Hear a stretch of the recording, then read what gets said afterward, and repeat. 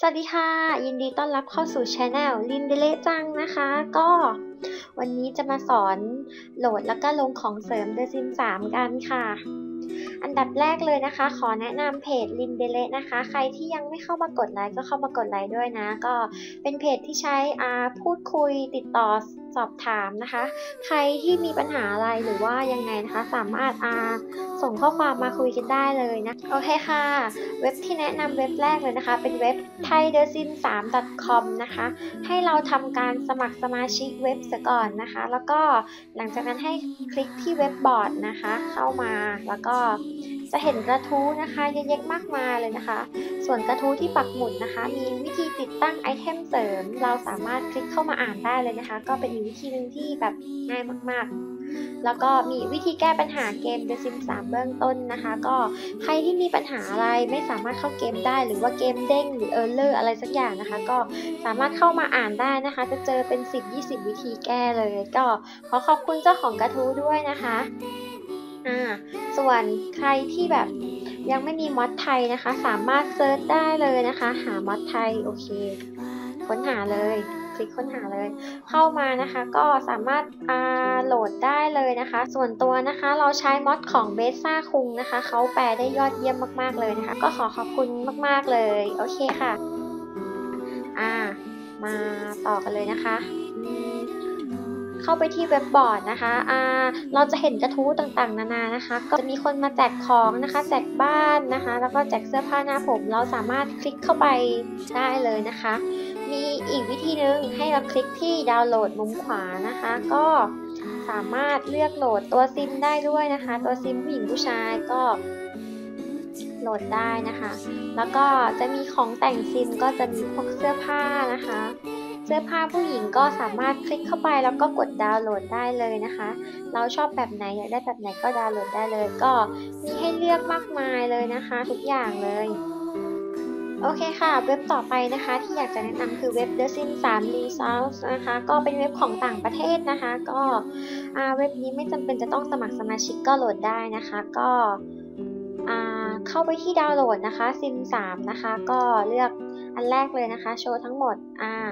เราอยากจะโหลดอะไรเราก็เข้ามาดูได้นะคะ ก็หรือไม่ก็อ่าเลือกของที่เราอยากดาวน์โหลดนะคะ ว่าเราอยากดาวน์โหลดเสื้อผ้าหน้าผมหรืออะไรนะคะ เดี๋ยวจะแนะนำบ้านนะคะ ก็เพราะว่าเราโหลดบ้านจากเว็บนี้เลยนะคะ ก็มีบ้านเป็นสิบเป็นร้อยเลยนะคะ เยอะมากๆเลย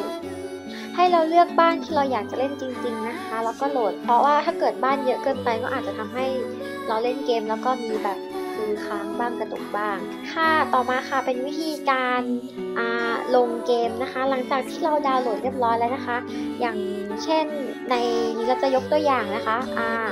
สองไฟล์นะคะ ไฟล์ที่ดาวน์โหลดมาจะมีไฟล์ package นะคะ ก็คือ .package นะคะ สังเกตดีๆก็จะมี .package ไว้นะคะ ก็ส่วนอีกไฟล์หนึ่งจะเป็นไฟล์สีฟ้าเป็นรูปซิมนะคะ ก็เป็นไฟล์ .sim 3 pack นะคะ ก็ ไฟล์ package เราสามารถ copy ไฟล์นะคะ แล้วก็นำไปวางใน package นะคะ ก็คือเข้าไปใน My Document นะคะ แล้วก็เลือก Electronic Art The Sim 3นะคะ แล้วก็เลือกตรง Mod แล้วก็ Package นะคะ ก็นะคะ เราสามารถคลิกขวาแล้วก็กดวางได้เลยนะคะ ก็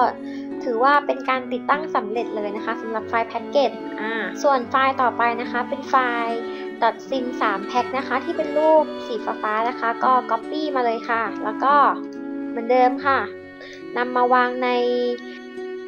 My Document นะคะ Electronic Art The Sim 3 นะคะ แล้วก็ตรงดาวน์โหลดนะคะ ก็คลิกขวานะคะ แล้วก็เลือกวางได้เลยอ่าสำหรับไฟล์ .sim 3 pack นะคะ